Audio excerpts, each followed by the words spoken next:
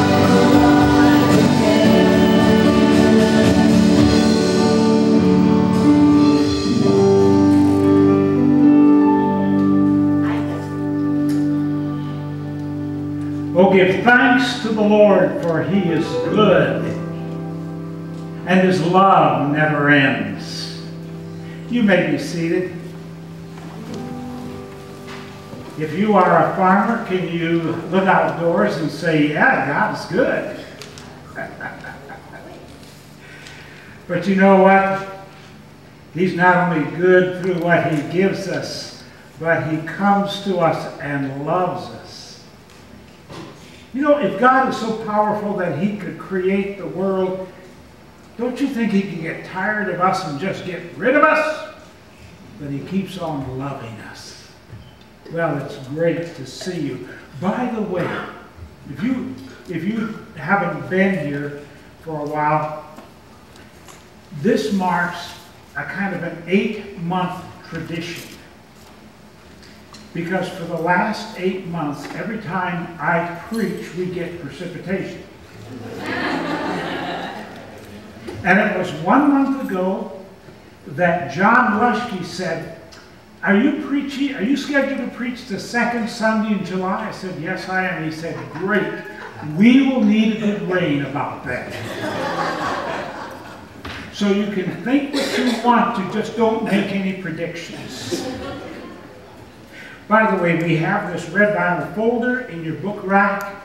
Be sure that you take it, register your presence, pass it back down the center aisle, and uh, if you are worshiping with us for the first time, would you stop at the visitor center because we, the Welcome Center, because we have a gift that we'd like to give you just to show how honored we were that you would come and worship with us today.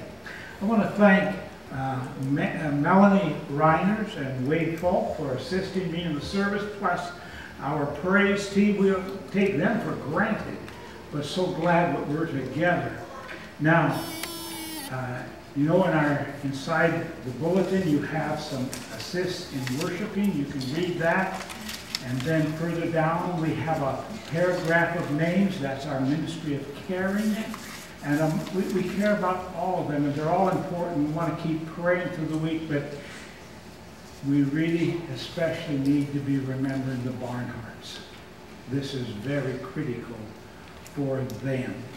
And then you have in your bulletin that inserts black on white, that's the announcements.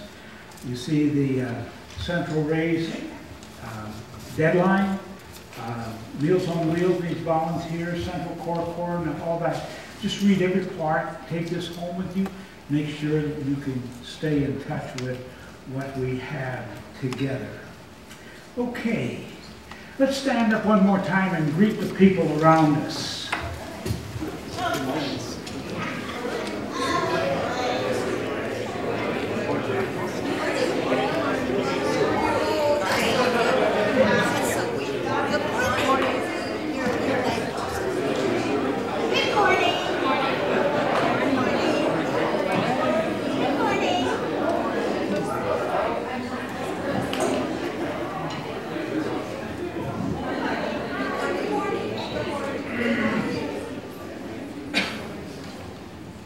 Morning, everybody. Good morning.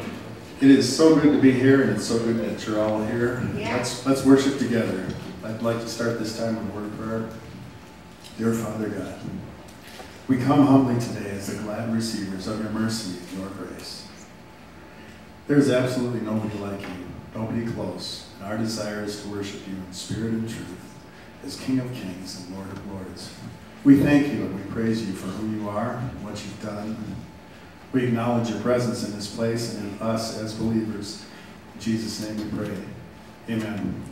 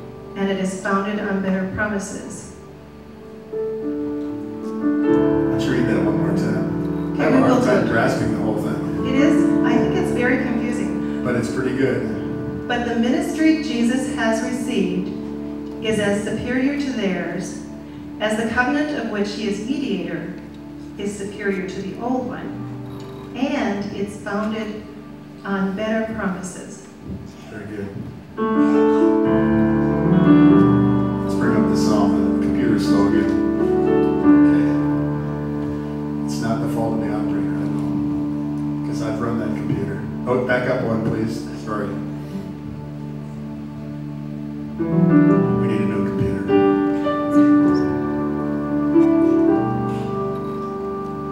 Can you bring a song back? He's pounding furiously on the keyboard trying to get it to respond. Thank you. Please read this with me.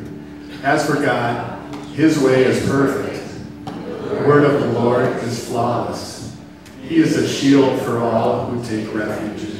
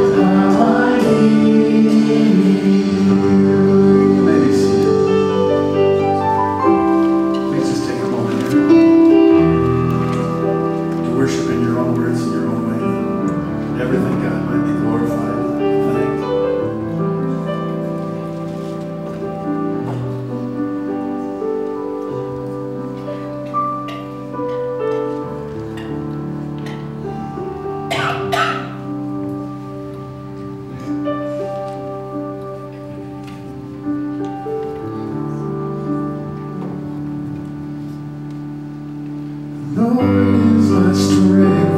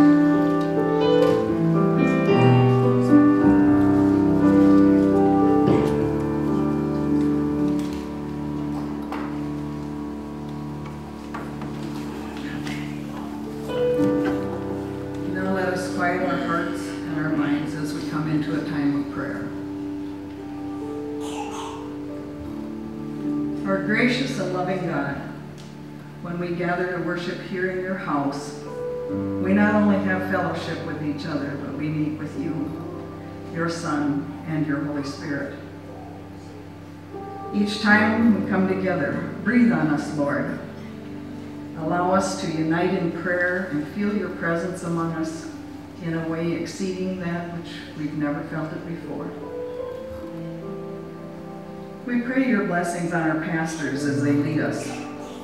Thank you for Pastor Andy and his family.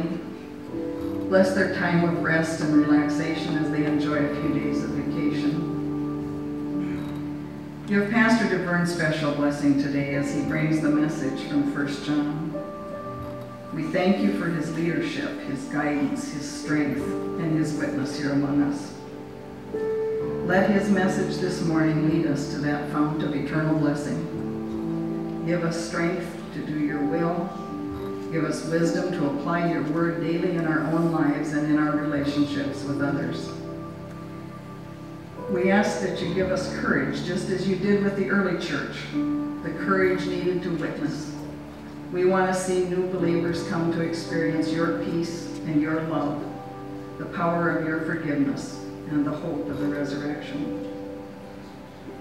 There are times, Lord, many times in our own lives when we long for the companionship of Christ. In times of deep loneliness, in times of great sorrow when our hearts are breaking and our life is changed forever, in times when burdens just seem too hard to bear, and we've all walked there. It is at those times that we're so thankful for your presence. The presence of the one who speaks our name, the presence of the one who understands our distress, and the only one who can lift us from loneliness, sorrow, despair, and those heaviest of burdens. Lord, we thank you for your presence with us in the good times, those times when everything is going well. Help us to always realize how important it is to have you walk with us in the good times as well as in the difficult. We need you to walk with us, to share the challenges and the excitement of these times, and to feel the worthiness of our accomplishments. For we know if we are walking in your will, these become times of even greater blessings. And then too, Lord, we come this morning just to say thank you. thank you for your never-ending, never-failing grace. Remembering that all of the good things we enjoy are not only the result of our work, you, have had your mighty hand in our well-being, our comfort, and our success. We pray, Lord, that we don't get so caught up in living when things are going well that we forget to be thankful. Lord, we are grateful. Forgive us for being so forgetful. Beyond our community, remember those who are suffering from war and political unrest. We pray for a peaceful transition in government in Egypt and for stability in the countries where our troops are serving, Iraq, Afghanistan, Kuwait, and others. Our thoughts are with those in mission throughout the world. We especially remember our United Methodists in mission in Haiti, Sierra Leone, Zimbabwe, and Nigeria. Uphold them as they bring the gospel to those who have never heard of your saving grace. And we pray this morning for that new ministry that is being started in the Bakken oil field in North Dakota. Make this outreach a meaningful, enriching experience for the families who struggle with loneliness, crowded living conditions, and lack of uplifting social interaction. May they feel your comfort. We thank you today for the lives of Scott Storm, Marcine DeBoer, Wilbur Letzi, and Gladys Bonnie Van Beek's mom. Give their families an extra measure of your grace as they mourn the loss of these loved ones. May their knowledge of you, their Savior, give comfort and peace this day. We pray for your comfort for those who are recovering from surgery and those who are suffering from illness today. We remember Kathy Barnhart, Joan Bone, Martha Shakey, Ione Bramer, Richard Bone, Jeff Schultz, Ron Lundberg, and Eric Meissner, as all of those whose names are not known to us, uh, to us all, but we're going to bring them silently in our hearts before you this morning. Touch them and heal them. Help them to feel your love and care as they heal from surgery or seek treatment for their various illnesses. In our thoughts today are Tom and Jessica Graham as they seek legal resolution regarding their daughter Elise. Give them your comfort and strength and patience as they wait. And we join together now in the prayer that our Savior first gave to his disciples. Our Father, who art in heaven, hallowed be thy name. Thy kingdom come, thy will be done on earth as it is in heaven. Give us this day our daily bread, and forgive us our sins, as we forgive those who sin against us. And lead us not into temptation, but deliver us from evil. For thine is the kingdom, and the power, and the glory, forever. Amen. Well, I, I want to invite our boys and girls to come and join me up here this morning, and uh, will you help me sing? This, this is where children belong. Welcome as part of the worshiping throng. Water, God's word, bread and cup, prayer and song. This is where children belong. Well, good morning. The, oh, your sister's someplace else, huh? You know what? Your moms and dads sure made good-looking kids. Do you know that? Hey, I brought some things that you can tell me what it is. I know you can't, but I want to use it as our children's sermon. You know what this is, don't you? It's bread. And what do we do with bread? Eat it, right? Do we eat it? Do you eat bread just to get rid of it? Why do you eat bread? It tastes good and uh, gives you energy, gives you get up and go. All right. And you know this here. What's that? That's a flashlight. What do we use flashlights for? To see in the dark. So that you can tell where you're going or you can find what you're looking for.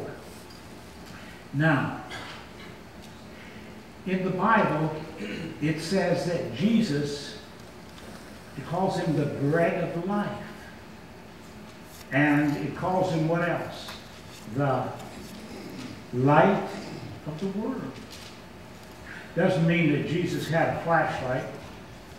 Didn't mean that he carried a slice of bread. But it, it's like a picture. You see, boys and girls, this is not just bread, but I mean, I mean, this is bread, but when the Bible talks about bread, it's talking about food. And you need food to grow, don't you? Your mother and dad make you eat the right kind of food. You'd rather eat desserts all the time, I suppose, and they make you eat some vegetables and things like that. And that's because food is good for helping you to grow. And then, you know, it's so good to have these lights, or it's good to have a flashlight, but we don't see the sun out there today, but the sun is what makes things grow, right? We couldn't, we couldn't have bread, we couldn't have trees or grass or anything without sunlight. Now, when Jesus said, I'm the bread of life, I'm the light of the world, he is saying that God made us to walk with Jesus so that Jesus can guide us, help us, show us the way, give us faith. And boys and girls, you just can't really live without Jesus. And so while you're young, some of you are a little older than others, but you hear about Jesus when your parents read you your Bible stories, or when you come to church and to Sunday school. But when you get older, listen. Listen to what Jesus says. And take him into your life and walk with him. Because as bread makes you strong, as light helps you to see the way, walking with Jesus will show you the way to live your life. That you will be glad you did. May I pray for you? Lord, I thank you for these boys and girls. I thank you that you have given them life and that they're here in the church where we can tell them about Jesus. And we just pray that the Holy Spirit would just give them such an interest in Jesus that as they're growing up, they will listen to the stories.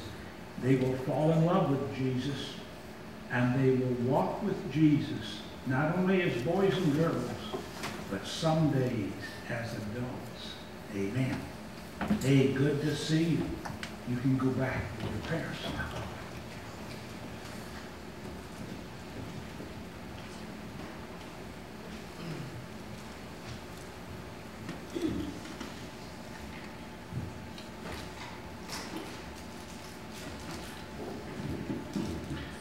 John 1, 1 through 10.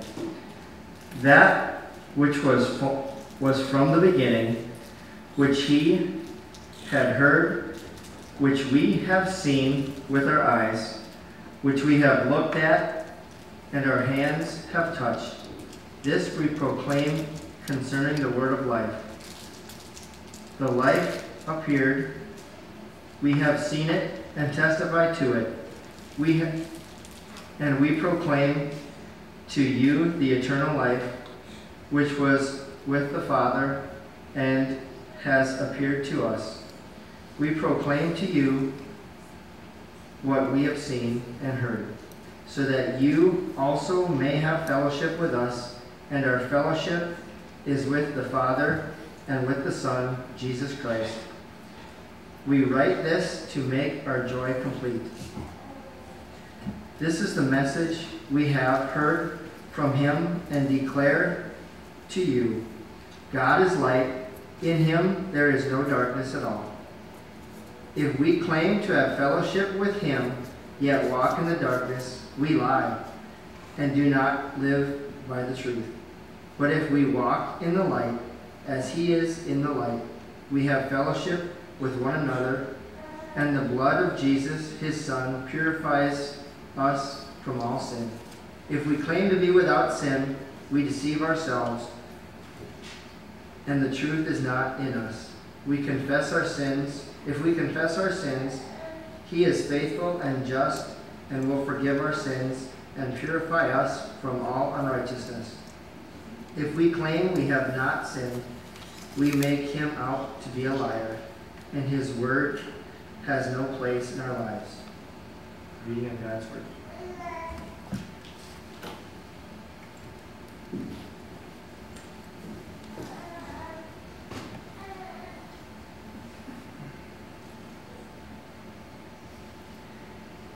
If somebody came to you and asked you, Are you a Christian? How would you answer them?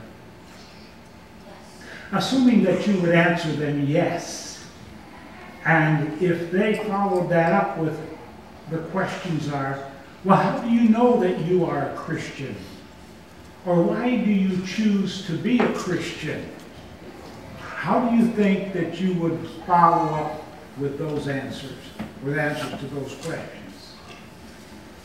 Some of us who do not enjoy confrontational discussions tend to steer clear of uh, discussions around subjects that deal with religion or politics.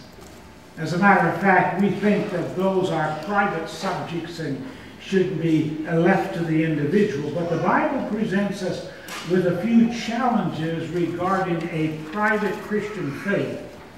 The Apostle Paul wrote, If you confess with your mouth that Jesus is Lord, and believe in your heart that God has raised him from the dead, you will be saved. For it is with your heart that you believe and are justified, and it is with your mouth that you confess that you are saved. Jesus, in giving to us the Great Commission, said, Go and make disciples, baptizing them, teaching them. And his last final instructions to his disciples and to you and me as his church were, you shall receive power when the Holy Spirit comes on you, and you shall be my witnesses. People, there is definitely a sense of responsibility for us who call ourselves to be Christians and followers of Jesus Christ. But the thought of practicing a public type of evangelism is terrifying to some of us. So think practically with me, if you will. Should not the practice of being a witness to our faith in Jesus Christ rely more heavily upon our desire to witness than upon the commandment to witness? And does it not seem more logical that the more knowledge we have about our Christian faith, the more comfortable we will be to enter into dialogue regarding our faith. I believe that a major contributor to our hesitancy to share our Christian faith is our inability to understand and to define it. The gospel. The gospel is the good news the gospel is the good news about Jesus Christ. The gospel is the good news regarding our salvation through Jesus Christ. The gospel is the good news about the kingdom of God that Christ has revealed and shown to us. And if we are a Christian, a follower of Jesus Christ, then we are commanded to share the good news. And if the gospel is good news to us, then there ought to be a desire inside. I want to, to somehow share that with other people. A lady met me in a local business place one day and asked if she could talk to me about my back surgery. And I invited her to come and do so. You see, back surgery has been such a blessing to me that anybody wants to talk to me, I'm more than willing to tell them about what it did for me, what it has meant to me. Because to me, that is a simple courtesy. So I raise the question again. Do we consider ourselves to be a Christian? If so, why do we want to be a Christian? And why would we want to share what we have found with somebody else? All religions have some kind of a motivational uh, power or force because that's how they promote their religion. And for Christians, it is known as evangelism. But again, for too many of us, the idea of doing evangelism is at least embarrassing, if not terrifying. Might be, we might be interested in promoting our church if somebody is looking for a church. But to in any way make any kind of a suggestion that we might have something that somebody else might not have, well, that just doesn't seem right. The science of demographics is the science of studying populations and population shifts. And through the study of demographics, we learned that a century ago, 90% of the Christian church was located in that geographical area that we call the Western world, you know, Europe and North America and that. Today, 68% of the Christian church resides outside of the Western world. In Africa today, every day from 22 to 24,000 people a day become believers in Jesus Christ.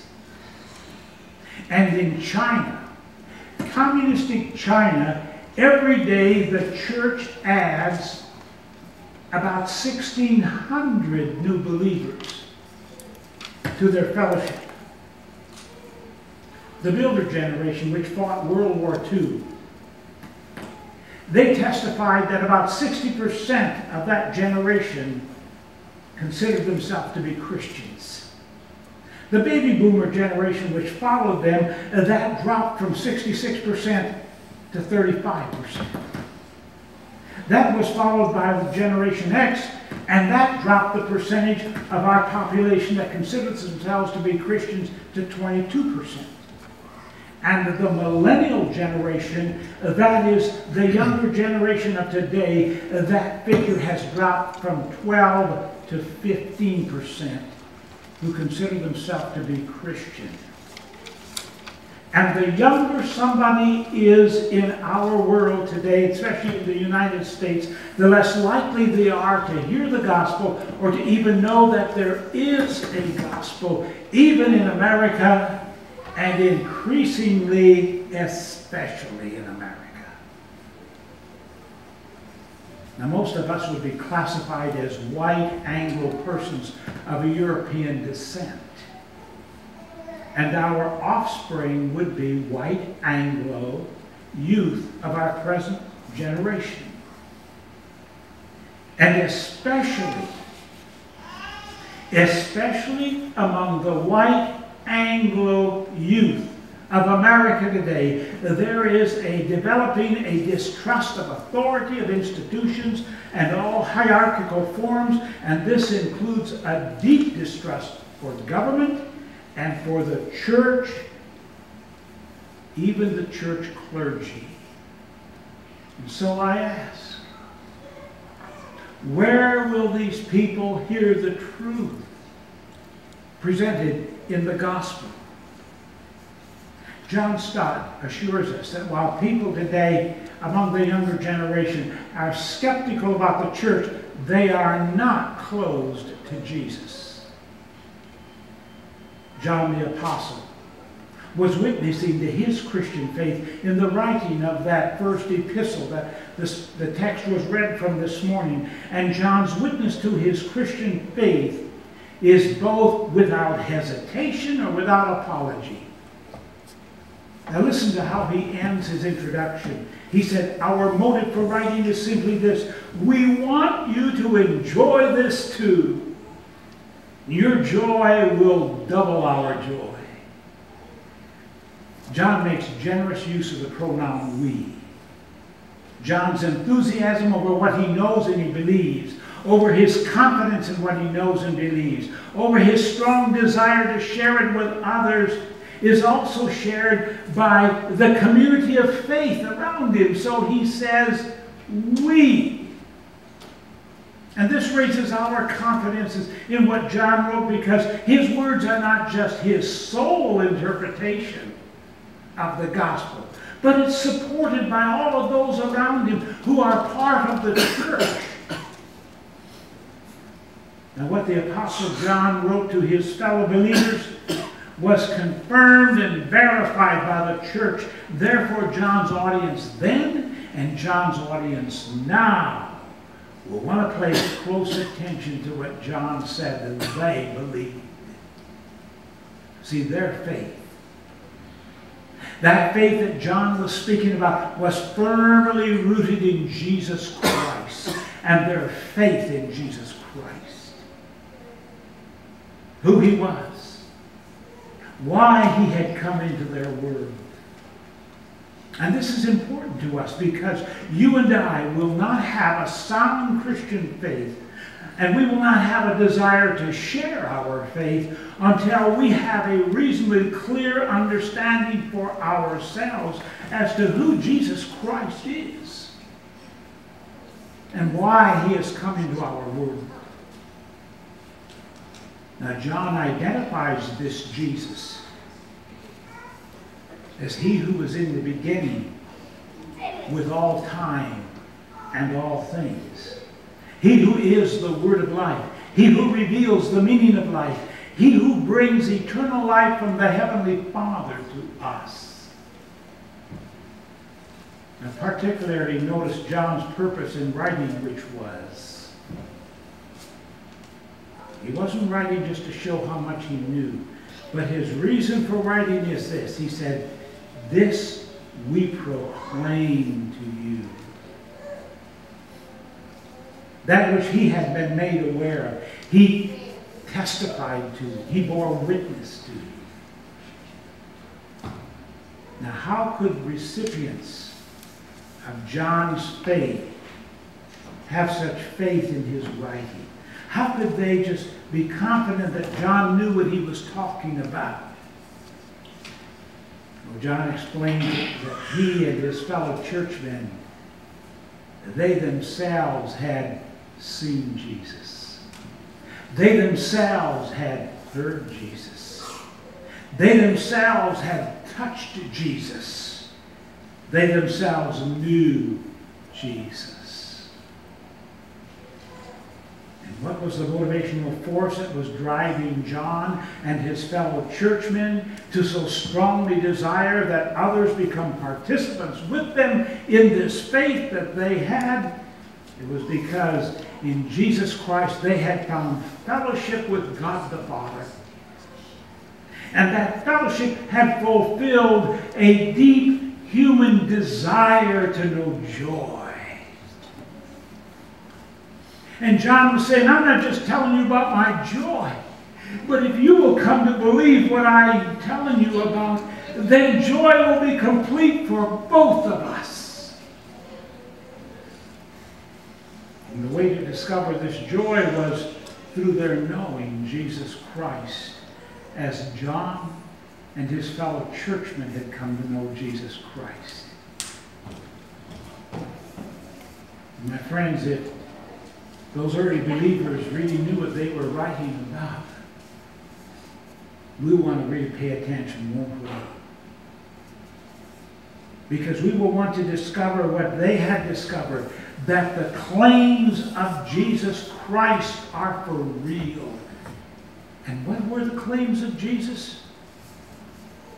He claimed that he is the light of the world, that he is the bread of life, that he is the way and the truth and the life. I don't know about you, but I can't even imagine what the world would be like without light or without bread or basic food or with truth to guide us. We couldn't exist without them, could we? And we and those for whom we share space on this planet Earth cannot know what it really means to live without a living encounter with the God who made us and with the Christ who introduced us to this God. Because every person who lives on this planet is as much a spiritual being as they are a physical being. And to know life, they must have a relationship with the God who made them just much as we need to have air and water and food to live. But without an exposure to the gospel, how will today's non believers ever come to know this truth about themselves and about the God who loves them and cares about us? I quote Dr. Timothy Tennent. We have to penetrate the world of teachers, lawyers, doctors, and laborers so to equip the laity to see themselves as being called by God, to see their work as holy work. Meaning that wherever we work as laity, our work is not just to simply satisfy a career, but our work to be is to be a vocation, a calling from God, to be a truth teller wherever the opportunity comes through and where we do our work. I made an unexpected encounter with that young man. When he learned that I was a minister, he somewhat apologetically confessed that he had forsaken the church that he had been raised in. And he had discarded everything he had been raised about religion. That actually, he said, I'm an agnostic. Well, I shared my strong belief in God. I just, I just said, well, you know, I have a very strong belief in God. And, and I know that there's one thing that God and I have in common. We both like agnostics. And that just opened the door for us to have a warm and open discussion and at the end of the discussion, I presented an open-ended challenge to him. I said, you know, if you are really an agnostic, then you are not saying you just don't believe. You are saying that at this time, you don't have the evidence to believe. But you're not opposed to truth if truth can be given to you and you can be convinced of it. And he said, you got it right. I said, okay. Can I just give you an invitation then to come to church and just sit and listen and watch and see what happens? Fast forward with me 18 years about. Joan and I are back in that city. We are having a meal in a local restaurant, and suddenly I'm aware that somebody is standing next to our table. And look, and there is that gentleman and his wife. And we share a brief conversation, and he says, Before you go, will you come to our table so that I can introduce you to my children? And we complied, and this is how he introduced me to his children. He said, This man is the reason as to why we are a Christian family. Why we believe in God. Why we believe in the Bible and try to live by it. Why we go to church. Because this man helped me to discover that Jesus Christ and God are real and can be known. And how did that take place? when the Holy Spirit used a conversational encounter where two men showed enough respect for each other that they could have a civil discussion about the subject of truth, even though we were on opposite sides. Jason Humpton is the chairperson of the Committee on Evangelism in this church, and I am the staff representative to that committee. And in our search for ways to assist our church to fulfill our purpose of sharing the gospel of Jesus Christ, Jason and I, on behalf of the committee, wish to make a proposal. And that is, if we are a Christian, we have been called by God to share the good news of the gospel. And our proposal is built upon the assumption that the best way to be motivated to share the gospel is to be first sold on the gospel ourselves so that we've got something we would like somebody else to have. And that want to begins with our own fellowship with God, with our own understanding of why we are a Christian, and our own understanding of why we believe and what we believe as a Christian, and by our own respect for somebody else might, might think differently. So we are considering inviting people that might be interested to join us to form a class. Where together with interested persons we could discuss and search how to fulfill what the apostle Peter instructs us to do when he wrote, always be prepared to give an answer to everyone who asks you to give the reason for the hope that you have, but do this in gentleness and with respect. We have, we, we would like, if anybody's interested in even just conversing about it, to come and talk with us. Let us see if there's, if we've got an idea that might serve some purposes. Or maybe you've got some suggestions about better material, but what, uh, what we would suggest as beginning material would be something like John Stott's book, Why I Am a Christian. Uh, and then a book like Paul Little, who's an apologist on Know Why You Believe, or in place of this, it could be another book by Stott, Basic Christianity. And we just come together and we work through some of these things and just kind of better understand what it is what it is to be a Christian. Why, why are we interested in this? How could we explain it to somebody else?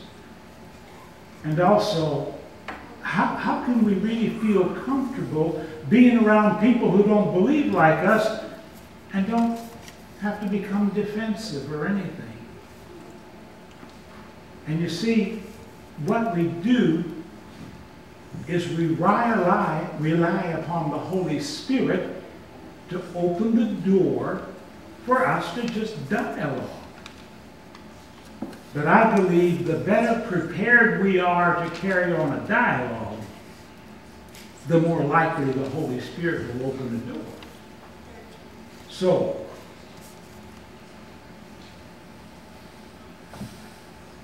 we want, we want to help ourselves and anybody else with us to learn how to investigate the credentials of being a Christian and a follower of Christ.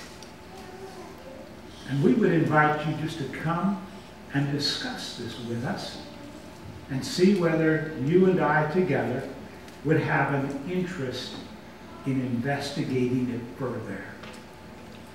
Amen.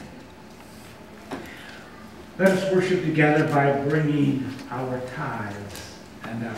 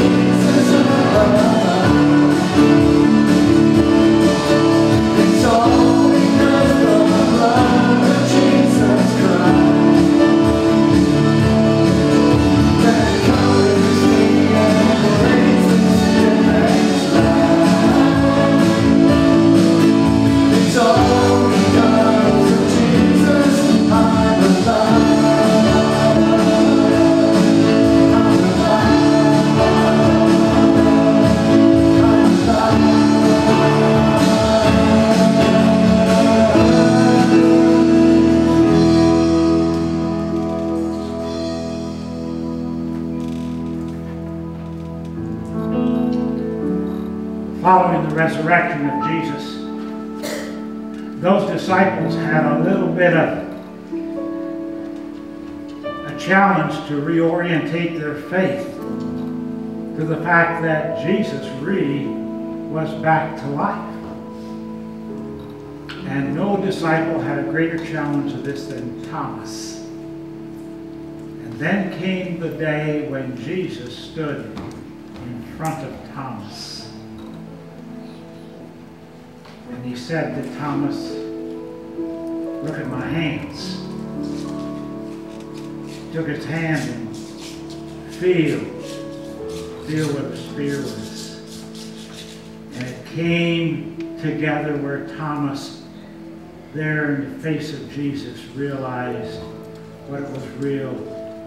And it summed up in this. He said, My Lord and my God.